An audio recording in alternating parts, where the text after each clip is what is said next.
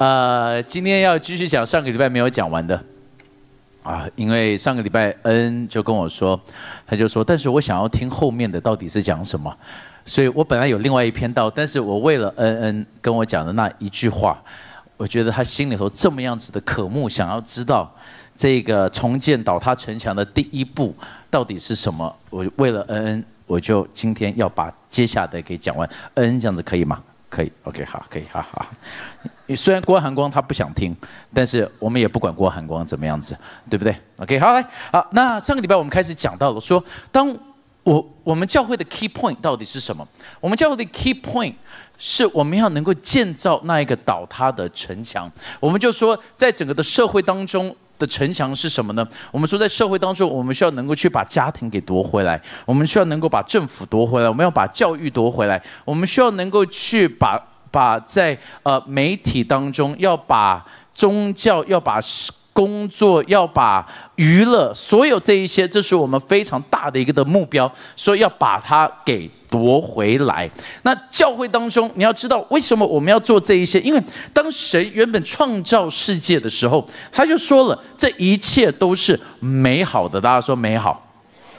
所以就是说，在整个的社会当中，他创造了地球也好，他创造了伊甸园。他说一切都是美好。大家说再一次说美好。但是当然。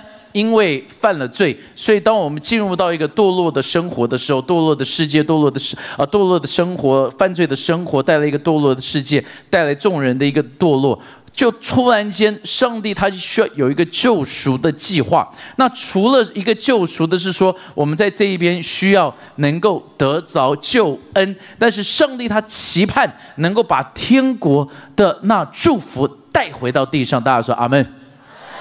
问题就来了，那怎么样子能够重建这个的社会呢？第一个的步骤，当尼西米他发现到有这个呼召，尼西米发现到他心中有这重担的时候，圣经上面是这个样子讲的。他说什么呢？他说：“我听见这话，大家记得吗？就是上一次他听到他们的人就说：‘哎呀，那城墙倒塌了，已经没有了，怎么办了？’然后，大大大家还记得吗？假装记得一下，好不好？大大家还记得吗？”啊，谢谢大家。OK，好，那因为他记得，呃，不是，不是他记得，他才刚听完。OK，好，他一定记得。他听到了，他们说城墙倒塌了，被火烧了。他说犹大省遭大难，受凌辱，并且耶路撒冷的城墙拆毁，城门被火焚烧。他就说：“我听见这话，就坐下。”哭泣，然后嘞，悲哀多久？几日？在天上的神面前做什么？那那他有三个是非常特别。他第一个，他被圣灵极大的激动。他他里头有一个的感动，有一个的冲动，有一个热情，突然间被点燃起来了。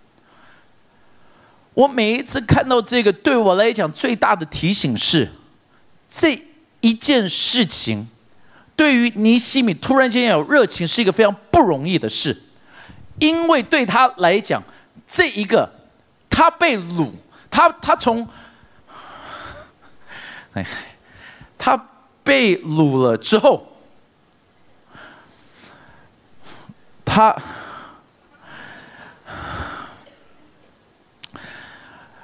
就到淡水的老街，OK，他被掳了之后的这个的时间总共过了多久？一百五十年。所以你你在想这一百五十年到底是什么意义？你知道吗？这一百五十年对你来讲的影响到底是多少？我解释给你听。一百五十年前发生什么呢？一百五十年前，美国的总统叫林肯。一百五十年前，美国有南北战争。一百五十年前，在中国大陆是慈禧太后。一百五十年前，才有了义和团。一百五十年前，在世界当中发生了一个重要的事情，而这一件事情改变了世界到一个的程度，是你没有办法想象的。在一百五十年前，一个邪恶的事情发生，影响到世界到现在，没有办法扭转。一百五十年前，他们创造了第一片的洋芋片。一百五十年前，如果你觉得这个有毁灭掉世界的，请你大声说阿门。可见你们了解我在说什么。一百五十年前，第一个洋芋片，so 一百五十年对我们来讲，你你现在就突然间能够了解了。很遥远呢，你很难为一个东西一百五十年前的有感动，一百五十年前的让你有一个激动，但是 suddenly 它里头激动了，suddenly 它里头突然间有一个感动了，他了解一样事情，需要他，上帝激动了他，让他们开始有动作，这不是一个短短的一个一下子的一个的感动，但是是这个的火突然间就。燃烧起来了，你知道吗？在你里头有一个火，这个的火也是可以再一次被点燃起来。我很喜欢生火，其实烤肉对我来讲，烤肉不好玩，生火是让我最有快感的。我很喜欢生火，我是一个专业生火员。那生火的时候，我就我我很喜欢生火，因为我就喜欢看到，当它一个的小火，然后你要把它给搭起来，搭好刚好的一个的架构。开始烧，慢慢烧了之后，到某一个程度，刚开始如果风太大，它就会熄灭。但是如果你摆的刚刚好，先保护它不要受到任何的风，一阵子之后，这个的火十分钟就已经可以旺的不得了了。然后再一次，你可以把它给散开来，让它再去影响其他的摊。你知道吗？这就跟小组是一样的。如果今天你发现你没有火了，你需要到一个有火的小组；如果你发现你的小组没有火了，你们整个的小组都需要到祷告会；如果你发现这个祷告会没有火了，代表你需要换教会，因为这是一个没有火的教会了。你必须要有火在里头，而当因为在那边有了火，突然间就算是有风吹来，就吹不熄了，就是原本。你你受到一点的打击，你就会想要放弃了。但是现在突然间，因为你烧的够久了，再多的打击，再多的困难，反而会让你的火越烧越旺。所以，当我们的教会，当我们在这边到一个的阶段，我们已经开始不怕困难，我们不怕挑战，因为我们知道一样事情：上帝在我们里头要焚烧我们，让我们向前行。但是有一些人。就会讲一句话，就是说我已经有了，我不需要了，我够了，我的火烧的够旺了。It's never enough。在我们这一世纪里头，有一个非常出名美国布道家叫做穆迪，他在芝加哥拥有最大的教会，在他们那个年代，在一九，在一九刚开始，一九零零年刚开始的时候，他的教会在芝加哥已经是两千五百人的教会了。这个很厉害，因为没有麦克风。你们有听懂我的意思吗？很厉害，而且他的信息好的不得了，他们称他为布道专家。但是问题就来，有一天就有两个了老太太就跟他讲说：“穆迪，你做的很好，但是你需要被圣灵充满。”穆迪心里头就很不开心。他就在想，我已经拥有全芝加哥最大的教会，我已经拥有所有这一切。你要我说我不够，你到底懂还是不懂？他回到家里头，突然间心里头就开始有一个的疑问，就是到底他有的够还是不够？这一个的声音疑惑到一个程度，他没有办法，他就回到家里头，他就开始关起房间，开始祷告。他就说：“上帝啊，如果真的是有这个的圣灵，我需要他，请你把他给我。”这么简单一个祷告，他就说：当天晚上，上帝突然间亲自拜访他，在他的房间，他感受到那圣灵充满到一个程度，他快乐，他笑，他喜乐，他喜乐到一个程度。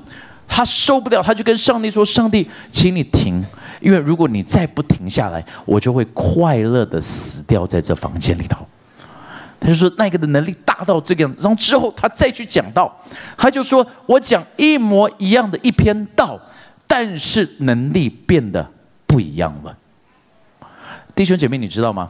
你可能讲的话是一模一样的话，你做的事情是一模一样的东西，你带的小组的方法是一模一样的，你去学校里头去跟朋友分享的时候是一模一样的，但是突然间人家就会说为什么不一样了？因为已经不再是你，乃是基督在你里头活着。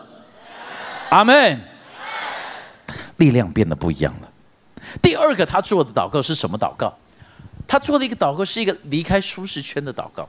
你看到他说他去进食，对以色列人来讲是一年进食一次，但是他就说我不是只是做一个普通的祷告，我不是普通舒适的，我要离开舒适圈，在神的面前来求。他这个一求下去。他就是几天在神面前哭泣，而且圣经上面说，我们没有时间去看。他开始祷告的时候是十二月，他四月才见到了王，所以这个的热情，这个的祷告是久还是短呐？久的，长的。他在那边一直的求，他离开他自己的舒适圈。朋友们，让我跟你讲一样事情，我们不要留在自己的舒适圈。Bill Wilson 每一次比尔牧师来，我我都被他激励。他跟我分享这个小孩的故事的时候，我到现在每一次想到我都会哭。他说他第一次见到这个的小孩的时候，一个孤儿被丢在孤儿院的前面，腿断了，没有人照顾他。然后他们把他带到孤儿院，肯在非洲的一个孤儿院带进去的时候，这个的孩子因为太久没有吃东西，上厕所的时候他肠子就掉出来了。肠子掉出来，对这种的孩子来讲，大概就已经没有救了。这个的孩子在那边，众人不知道该怎么办，众人就想说，这个已经没有人要的孩子，没有人会哭泣，没有人会纪念他，一定会死掉的，已经没有救，附近没有医院。这个的牧师他就说不行，他就拿了一个毛巾，把他的肠子就塞回去，上了一台吉普车，就。问了一个人说最近的医院在哪里？他们就跟他讲说最近的医院在另外的一个国家里头，而且现在你已经不能过去了，因为已经晚上了，边境已经关掉了，你去不了。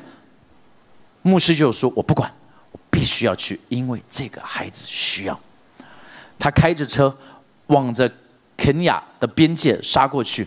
到了边界的时候，到对面的人就跟他讲说：“我们边界已经关了一条河，边界已经关了，你不能够再过来了，已经不行了，明天再来。”比尔牧师就跟他讲说：“不行，我今天我必须要过去。”在那边的军人拿着机关枪就对着他就说：“如果你过来，我们就会开枪把你给打死。”这时候，比尔牧师他就要做一个决定了，他要不要离离开他自己的舒适圈？他跟着我说，他那一天晚上就做了一个决定：死就死吧，死就死吧。为什么？因为这个的孩子，一个没有人要，他才第一次遇见到的孩子，他就说死就死吧，他就开车往边界的那一条河就冲了过去。弟兄姐妹，你要知道，有的时候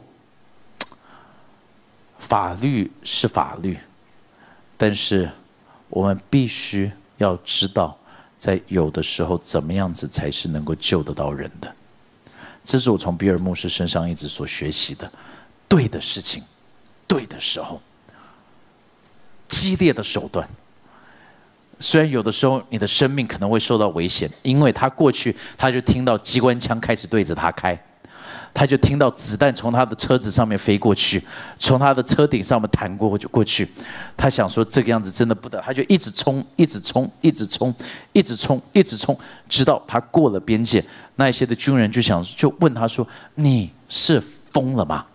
我们差一点就把你给打死了。”然后他就打开门，就跟他讲说：“但是有一个小孩在这边快要死掉了。”他不管这么多，那个军人就开始前面帮他开路，带他到了医院，帮助这一个没有人要的小孩，因为他里头有了那个的热情，他愿意离开自己的舒适圈。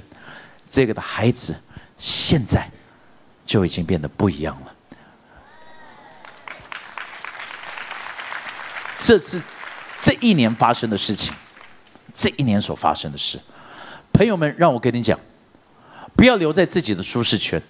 我知道很多你们想说，光宇哥，我又不会开吉普车，我也不能去救一个非洲的孩子，我也没有办法去被机关枪打。光宇哥去哪边找这个？不需要。因为你们有离开自己的舒适圈，当你们每一个礼拜愿意上街头去募款的时候，我要谢谢你们，因为你们离开了自己的舒适圈。阿门，阿门。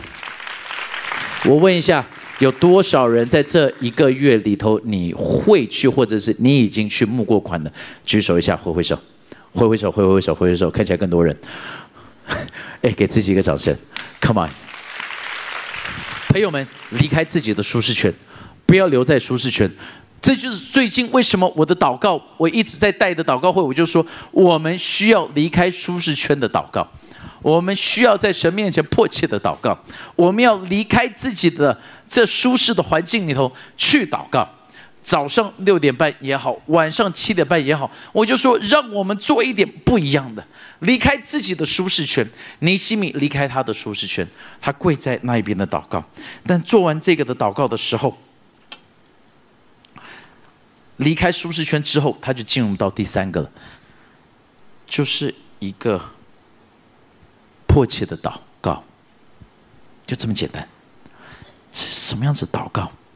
他这一段经文就很有意思。他在开始祷告的时候，他就这个样子说：“他就说，耶和华天上的上帝，大而可畏的上帝。他现在先做什么？他记得神的本性。”他说：“上帝，我记得你的特色，我记得你是什么样子的。上帝，他的名字就是为了要一直提醒着我们，当我们生病的时候，我们就要记得他叫做耶和华拉法，因他的鞭伤，我们可以得着医治。他叫做耶和华以勒，意思就是他为你预备了。你今天有需要吗？你有什么的需要？”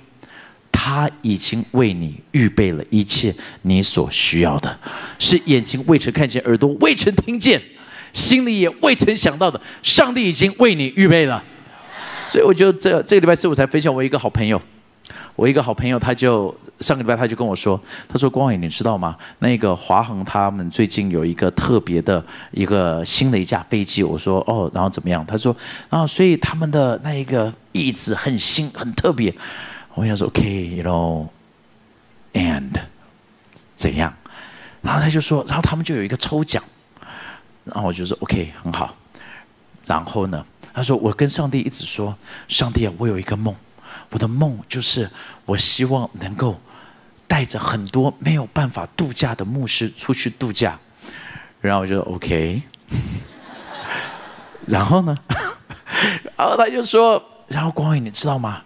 前天，他们就写信给我了，然后说：“然后你赢了什么？”他就说：“我赢了。”他说：“不是一张经济舱的票，不是一张经济舱哦。”他说：“我得到了整个经济舱，整个经济舱三十二个位置还是三十五个位置，我忘记了，三十五个位置的经济舱，然后。”我就立刻就跟他说，然后我就说，You do remember I am your best friend。而且说，You remember right？他说，I am your best friend。我说，在手机里头，你的名字叫做 best friend。然后，但是突然间，我就觉得糟糕，要先问清楚，就说，哎。这是是单程还来回啊？要要问清楚嘛。然后他说来回，他说 OK，那我叫我想想，就说哎，那那飞哪？因为我想到哈，假如说是 business class 飞香港就很逊，你知道吗？因因为你可能不懂哈，但是飞香港的话，前面三十分钟你的椅子也不能动，后三十分钟你的椅子也不能动，所以就算你坐 business class，说三十分钟坐在那边的时候，那所以你的椅子倒下去了三十分钟，他就跟你讲说：“先生，不好意思，我们要降落了。”就完全没有意义，你知道吗？然后他就说：“哦，是飞东南亚。”我说：“哇哦！”他就跟我讲说：“你知道吗？上帝是这么样子特别的，因为他知道我不是为自己求，他知道。”我是为着其他的牧者、其他上帝的仆人，我在求。我说我想要把这个给别人，我想要把这个祝福给别人。弟兄姐妹，你要知道，这就叫做耶和华以乐。这是耶和华以乐。你想要经历耶和华以乐吗？把你的心调对。你到底是为什么求？为自己？还是为别人，所以，you know，然后他就真的，他就跟我说：“光远，那你要跟我去吗？”然后我就说：“不要。”他说：“我可以改时间。”我说：“不要。”他说：“其实你就是不想跟我去，是不是？”我说：“对。”没有啦，因为我就跟他讲说：“你把那个给真的有需要的人，因为对我来讲，我觉得我现在只能做 first class，我不可以做 business class。”开玩笑，开玩笑，开玩笑！哇，大家不要认真哦，等一下大家剪接出去不得了。光伟牧师只做 first class。OK，listen，listen，listen。第一个，他呼他这名，你你有不平安过吗？有没有人不平安过？那你也觉得不平安过的？有没有？这么多人，你们都这么平安了，你从来没有害怕过的？因为不平安的时候，就说你就记得他是耶和华沙龙，耶和华沙龙，他不是帮你剪头发的。但是他是给你平安的，你都从来没有想过吗？耶和华沙龙，对不对？就是我我的理发厅叫做耶和华沙龙，你们都没有发现过吗？你们有没有学到一个新的东西？今天耶和华沙龙，你你你说你要去打仗？你你要遇见到困难，他叫万军之耶和华的元帅，他要带你胜过一切的。阿门。这就是我们的神。然后第二个他做什么呢？他做一个清洁的生活。他说他他他祷告的时候，他就说：上帝啊，我们承认我们向你所犯的罪。这就是我们人常常没有做的，我们没有承认我们的罪。但是第一个，我们必须要说上帝。我承认我是一个罪人，我是一个罪人，我有嫉妒，我有淫乱，我有骄傲，我我我我在神的面前，我必须承认我是一个罪人，十字架。最近在教会当中，我们每一次讲到信耶稣，会有一个问题，就是我们一直讲说，上帝会帮助你变成一个更好的人。这其实是一个问题，这这个其实也没有错，上帝是要祝福我们，让我们变成一个更好的人，阿门。但是在变得更好的过程当中，他一定要把那不好的给拿掉啊！大家可以阿门吗？所以当我们讲到十字架的时候，不是。主啊，我更大，祝福我，不是，是主啊，我愿意与你同钉十字架，但是现在活着的不再是我，是让你的能力在我里头被彰显出来。然后当十字架当主被高举的时候，你就发现你的生命就开始变得不一样了。阿门。哎，是会改变的。所以是一个洁净的生活，是每一天你必须要去。所以记不记得我就开始前几个礼拜跟大家讲说，你要去醒醒察你有没有黑暗处？哎，有没有？有吗？记得吗？我就是你有没有去醒察你有没有黑暗处？而且我要跟你讲，耶和华的眼目遍察全地，不要以为，不要以为你做的这个事情是没有人知道的。你不要以为。因为就是会被抓到。有一次，有一个就有有有一个呃男男生，他就跟了他的女朋友刚分手。他跟他女朋友刚分手之后，然后他就又交了一个女朋友，然后交了这个女朋友之后，他就去动物园约会。你知道动物园，这这其实也是蛮聪明的地方，因为无聊到不得了，然后就需要一直聊天，OK，然后然后他要去，然后他去动物园约会，你知道这种应该是不会被抓到的，但是就在那一天，就有牧师在那一边看到他。就是那一个教会的牧师就看到他，然后看到他的时候，就远远的看到他，就说：“哎，光伟，哦，不，不，哎哎，某某人，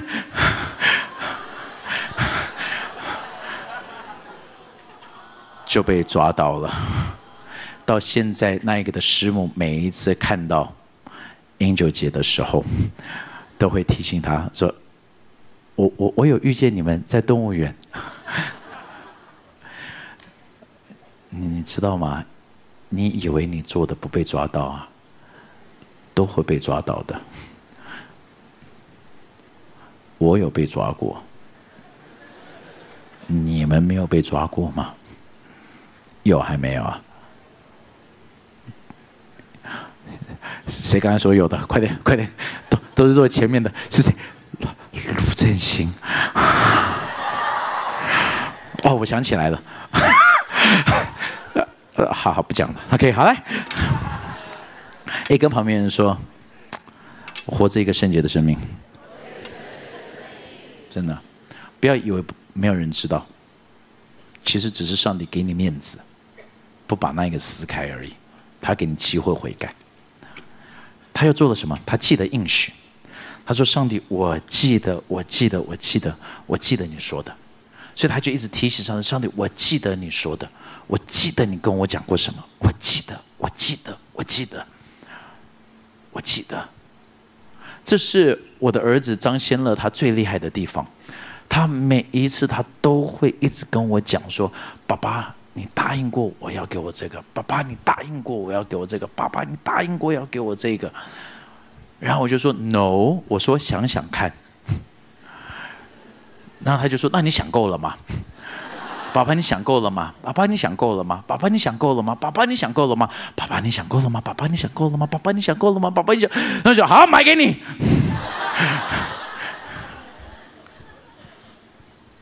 连地上的儿子都这么样子的聪明，而且我还不是一个完美的父。你觉得在我们天上完美的父，难道他不会给你你所需要的东西吗？你要提醒上帝他的应许，圣经当中充满了应许。你为什么要读圣经？因为这是一个藏宝图。大家说阿门。第四，他很明确的祷告，他跟上帝讲的清清楚楚，说：“上帝啊，这一个是我要的，我要看见复兴。这一个是我要的，我要你帮助我能够去跟王说话。你祷告的时候，你到底是怎么祷告的？你祷告只是说，上帝，请你祝福我。”还是上帝，你跟上帝讲清清楚楚说：“上帝，我的课业，什么课业？我的英文，我的数学，我的工作，你要什么？你要什么？你跟上帝讲的清清楚楚的，讲清楚你需要什么。因为上帝他是一个好的神，他愿意把祝福给你的。不要觉得我们的神就是要是给我们苦，没有错，我们是要讲十字架。”但是同样的时候，我们有一个爱我们的天赋，所以他做的祷告是很简单的。他记得上帝，他活出一个清洁的生活，他记得神的应许，他做一个明确的祷告。但是他为什么能够这样子祷告？因为他的内心被激励了。他的内心激励了之后，他就开始离开舒适圈，迫切祷告。